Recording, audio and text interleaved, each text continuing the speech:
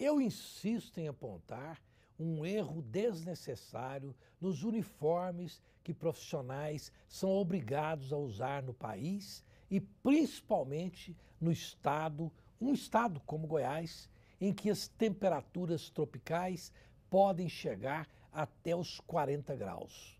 Percebam que juízes, advogados e trabalhadores que podem ligar o ar-condicionado, talvez em nome da vaidade e do ar de superioridade que vem junto com a toga e a beca, possam manter o direito ao sufoco.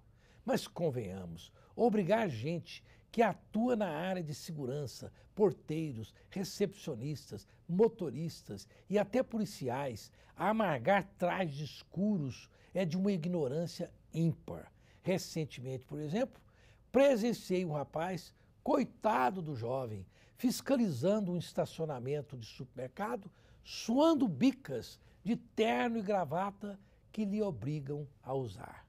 Olho no olho, essa é uma das muitas bobagens que se perpetua, inclusive em detrimento da efetividade das funções.